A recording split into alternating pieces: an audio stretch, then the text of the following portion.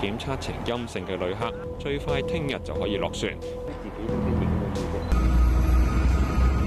康美樓至少兩個唔同樓層嘅 A 座零七室，有居民先後確診感染新冠肺炎。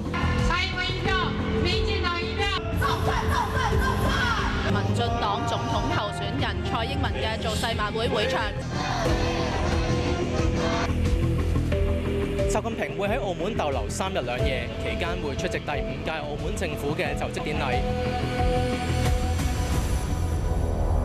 四百一十三萬人破咗歷史紀錄，而今屆亦都係第一次區區都會有競爭。